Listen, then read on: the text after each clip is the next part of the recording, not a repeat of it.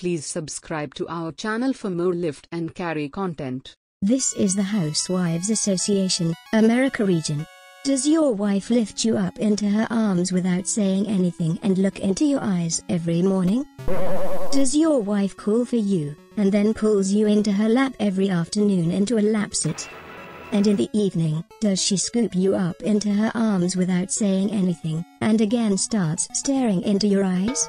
And when night happens, does she lifts you up and places you on the kitchen counter, and starts staring into the eyes again? If this happens to you daily, then it means that the love language of your wife is lifting you. We recommend that you keep getting lifted and carried by her until she is satisfied, to maintain the peace at home.